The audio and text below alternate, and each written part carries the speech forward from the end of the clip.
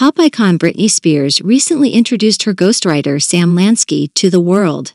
Lansky played a crucial role in helping Spears write her memoir, enabling her to share personal secrets that had been kept hidden for years.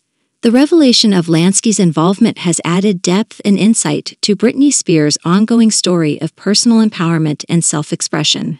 Britney Spears, known for her chart topping music and cultural impact, has been at the center of a high profile legal battle related to her conservatorship. During this time, she embarked on the journey of writing her memoir to share her experiences, emotions, and personal stories. Sam Lansky, a writer and author, was introduced as the ghostwriter who assisted Britney Spears in crafting her memoir. The collaboration allowed Spears to put her thoughts, feelings, and life experiences into words, providing her with a platform to share secrets that had been kept hidden for years.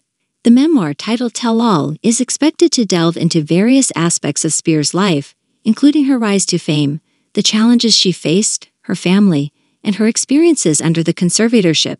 It is anticipated to be a candid and revealing account of her life. The revelation of Sam Lansky as the ghostwriter has drawn attention to the significance of Spears' desire to tell her story and break her silence. It highlights the role of collaboration and support in providing her with a platform to express herself. Britney Spears' journey towards self expression and personal empowerment has resonated with fans and the public.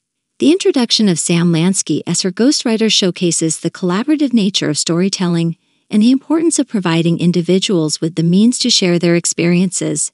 In summary, Britney Spears has introduced her ghostwriter, Sam Lansky, who played a pivotal role in helping her write her memoir. The collaboration has enabled Spears to share personal secrets that had been kept hidden for years, adding depth and insight to her ongoing story of personal empowerment and self expression. The memoir is eagerly anticipated as a candid and revealing account of her life.